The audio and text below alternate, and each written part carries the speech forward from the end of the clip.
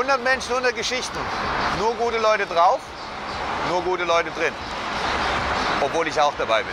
Ja, aber es hat mir von Anfang an riesen Spaß gemacht. Es war mir ein richtiges Anliegen und eine Ehre, dabei zu sein. Das Ganze ist eine richtig große Geschichte geworden, weil es so wichtig ist. Ich hoffe, es öffnet allen die Augen. Bis dahin und viel Spaß damit. Euer Jürgen Klopp. Es gibt noch viel zu tun. Die Intoleranz steckt in zu vielen